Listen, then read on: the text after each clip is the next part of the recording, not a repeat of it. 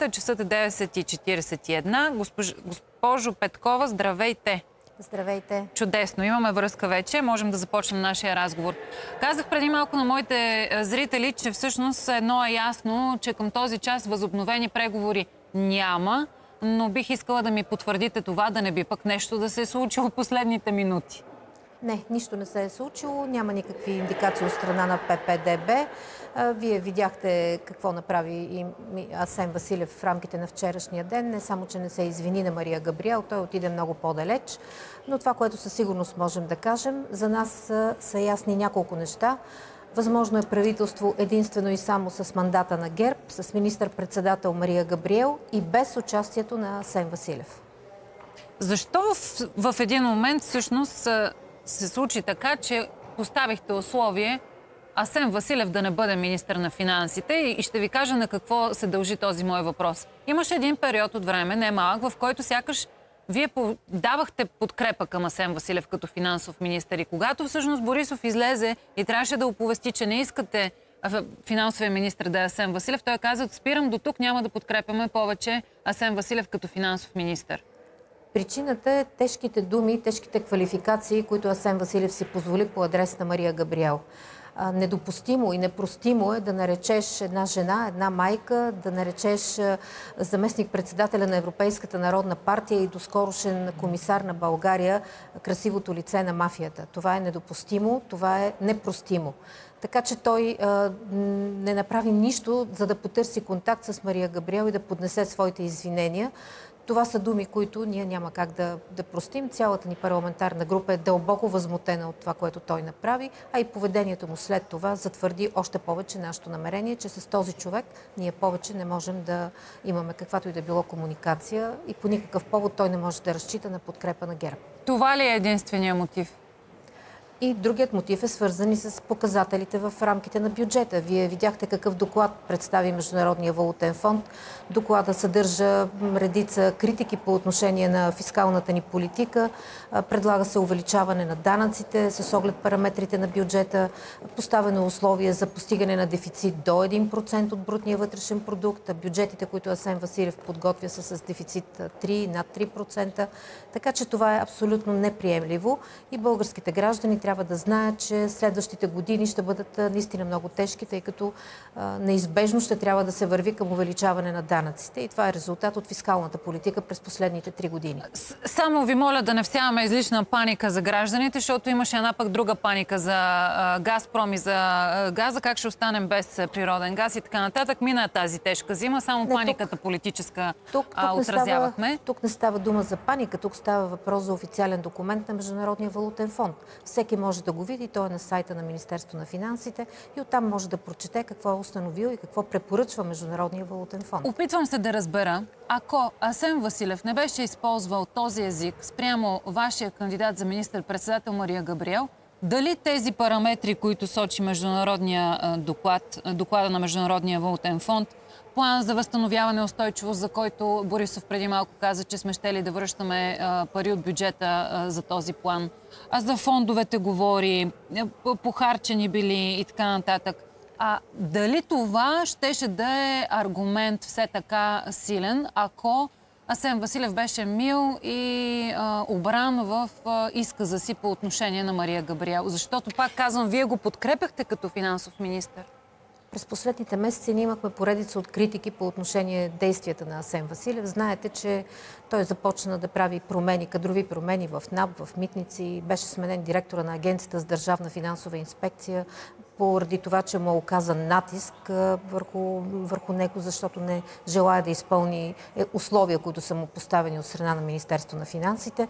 Така че това са действия, които не импонират на поведението на един финансов министр. И показателите в рамките на бюджета също бяха такива. Виждате, че приходите не се събират с така необходимата срочност и в необходимите размери. Това са все е, критики към него, които ние отправихме. Не сме крили нищо.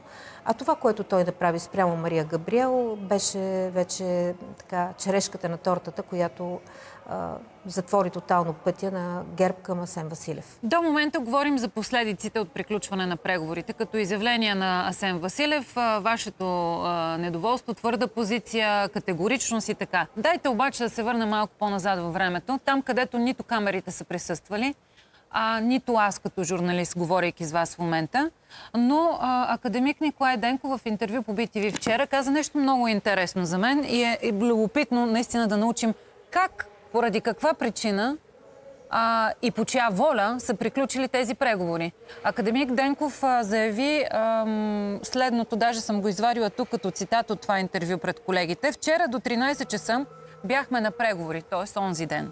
Тогава влезе пиарът на ГЕРБ СДС и каза на преговорния екип, време е да станете и да си тръгнете.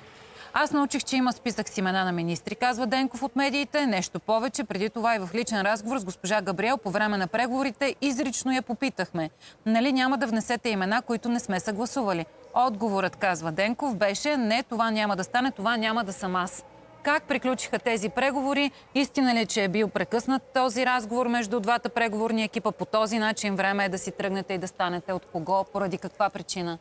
Ние от ГЕРБ СДС влязохме в тези преговори с нагласата да постигнем съгласие, защото ясно осъзнаваме, че България няма необходимост от нови предсрочни избори. България има нужда от стабилно управление, от работещ парламент и стабилно правителство, което да гарантира благосъстоянието на българските граждани и тяхната сигурност.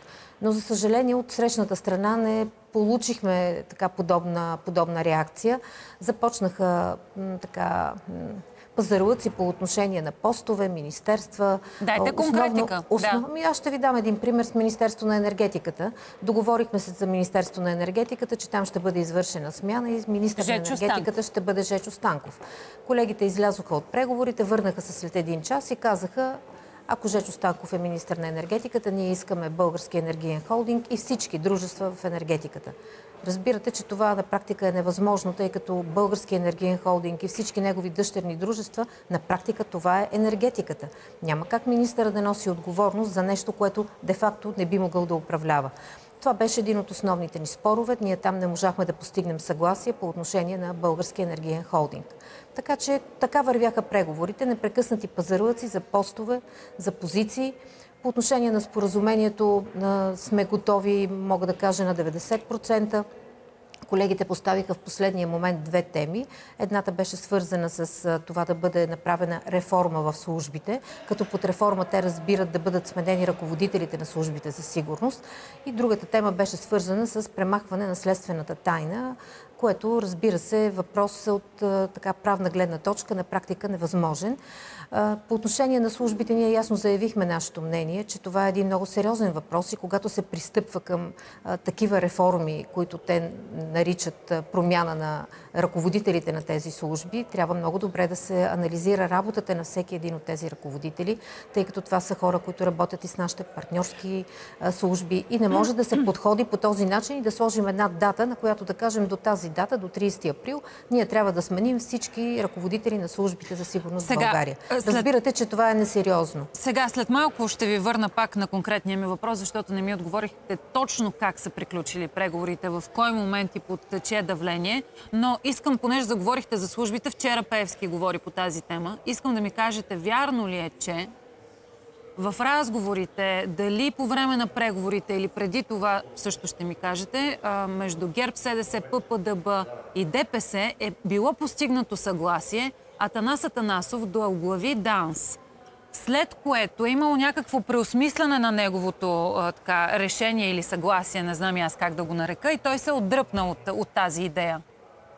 Ами това е информация, която господин Пеевски вчера обяви. Аз не съм присъствала на тези разговори, но няма повод да, да не се вярва на тази информация. Самия господин Атанасов в разговор Аз за това ви питам, защото всеки казва нещо и се опитваме да наредим пъзела. Кой говори коректно и кой до там не е коректно. И затова ви питам, би следвало да знаете, след като сте обсъждали кой да оглави службите, да знаете какви са били първоначалните решения. Тук може би е добре да бъде попитан самия господин Атанасов. Аз мисля, че той ще потвърди тази информация. Надявам се колегите в коларите да се сетят и за тази сюжетна линия и да му зададат този въпрос, защото да, вчера Делян Певски го оповести пред самите колеги в коларите, че е имал такава договорка, но той се е дръпнал в последствие и е дошла друга номинация, която обаче не се е харесала на ППДБ. Ами това е бил, доколкото аз вчера чух, съветника на Николай Денков в Министерски съвет. Добре, та защо приключиха преговорите? Връщам ви на тази тема, защото очевидно не може да ми кажете за службите каква е била цялата история. Първо трябва да кажем, че всяко едно име от тези, които Мария Габриел внесе в президентството, свързано с заемането на министерските постове, е обсъждано многократно с колегите от ППДБ. Всяко едно име е анализирано и дискутирано много дълго време. Така че колегите не могат да твърдят, че не са били запознати и че това за тях е информация, която те за първи път чуват. Това категорично не е вярно. Особено кандидатурата на министър Тагарев беше обсъждана в продължение на дни, а чух, че Николай Денко спомена, че тя изобщо не е била поставена на масата на преговорите, което, меко казано, е неистина. Така че колегите няма от какво да бъдат изненадани. Що се отнася до министрите, Министрите много добре знаят, че съгласно декларацията за управление на страната, която подписаха Мария Габриел и Николай Денков през юни 2023 година, много ясно е посочено, че това е управленски мандат в рамките на следващите 18 месеца. Мандат разделен в два периода по 9 месеца. В първия период министър-председател е Николай Денков, във втория Мария Габриел. Тоест, тези министри, които и към настоящият момент участват в този кабинет, много добре са знаели, че те ще участват в кабинет с подобна структура и с подобна ротация. Така че всичко това, което беше организирано от страна на ППДБ с подаването на декларации за отказ от участие в правителство с министър-председател Мария Габриел, аз мога да определя само с една дума и тя се нарича саботаж. Как, как приключиха преговорите? За трети път се опитвам да разбера и да ви задам този въпрос. В 13 часа ли приключиха? Наистина ли влезе някой, който да ви каже ставайте и си тръгвайте? Защото... Преговорите, преговорите приключиха много ясно. Ние обяснихме на колегите, че ние няма как да отстъпим от това в Министерство на енергетиката да бъде, както те казаха, симетрична отговорността, защото това няма как да стане.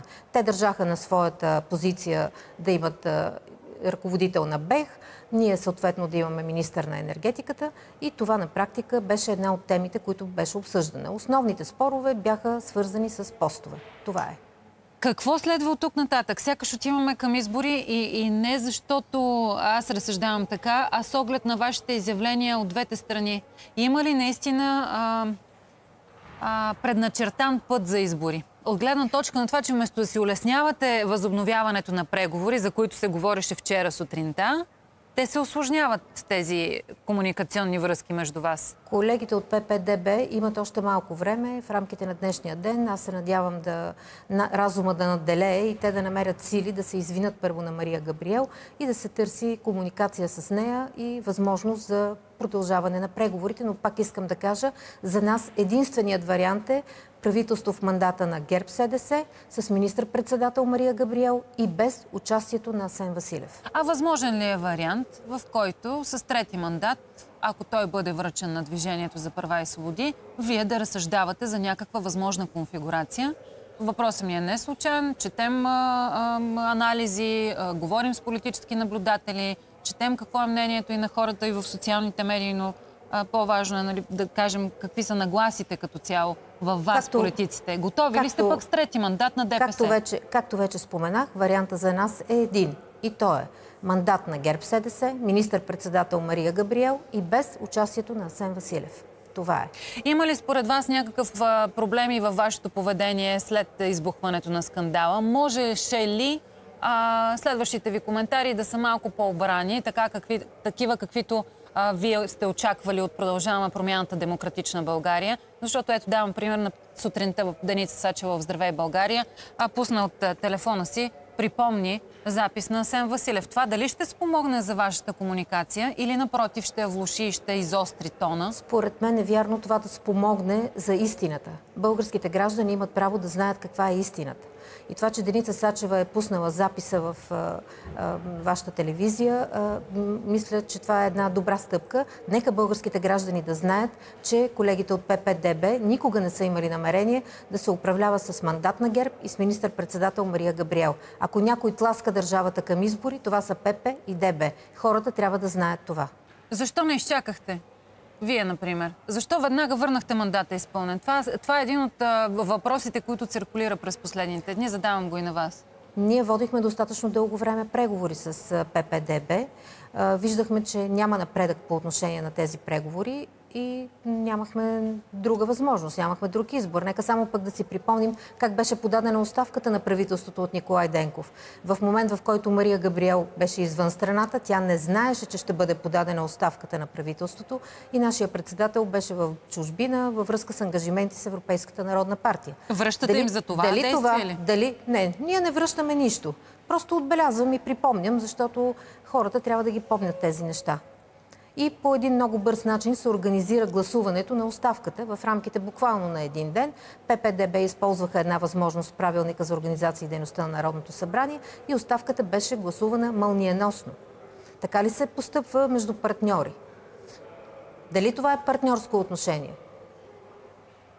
А същото ви отговарят и на вас, между другото, по отношение на партньорско отношение. Пак казвам за изпълнения мандат. Затова ви задавам и аз този въпрос Ние за сме били, състава ние на сме кабинета. били ние сме били винаги коректни с тях. Мария Габриел е един изключително а, кооперативен човек.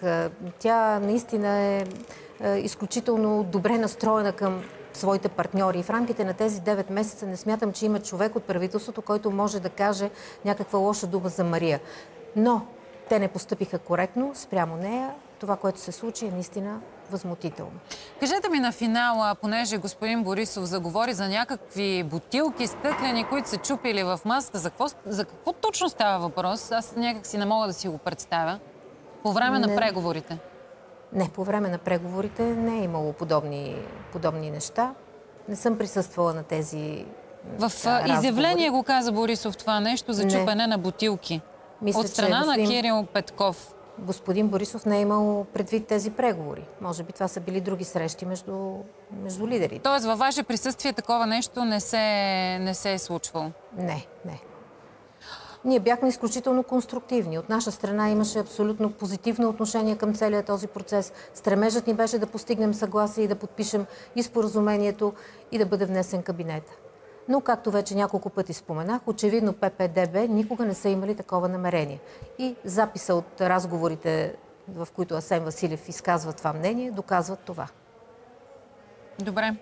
А те първа, аз лично наистина се обърках, не, не мога да разбера къде са били тези изпълнения с чупене на шишета и стъкла на масата, а, за които заговори лидера на ГЕРБ Бойко Борисов. А, но го заяви преди, преди ден. Но очевидно в а, формата на преговорите такова нещо не се е случвало по думите ви. Така да разбирам. В рамките на преговорите, На преговорите, да. такова Това нещо не е имало. Да. Да. Всяка вероятност става дума за предишни срещи, които, са, които е участвал господин Кирил Петков и е извършил тези действия. Думите на Борисов са не искам такава среща, в скоби лидерска, защото те се държат невъзпитано и ако вие присъствате на среща, в която Кирил Петков чупи шишета и стекла на маста, вие ще искате ли такава среща, пита Борисов журналистите. Може и да, да, да визира някаква друга среща в формат той с Кирил Петков. Добре, благодаря ви, госпожо Петкова. Ще видим ви от тук нататък на къде ще тръгнат а, нещата. Дали изобщо ще се стигне до преговори или завоя, за който се говореше, че може да бъде направен, ще катастрофира в предсрочни парламентарни избори. А след тях какво ще дойде? Дали ще е по-различно от същото като подредба на силите политически? И това те първа ще видим, ако стигнем до избори. Ако има избори, отговорността е изцяло на ППДБ. Могат да ви контраргументират вашите партньори, не партньори във властта със същите думи. За съжаление, ние журналистите се опитваме да намерим а, така истината в цялата картина и факта, че не сме присъствали на тези преговори, за вас политиците може би е по-добър вариант, по-тихо да се случват тези разговори, после да се оповестяват новините, но пък за нас става по-трудно да, да вярваме на вас или на другите и да, да, да търсим истината. Но това е положението. Благодаря ви много, Теменуш.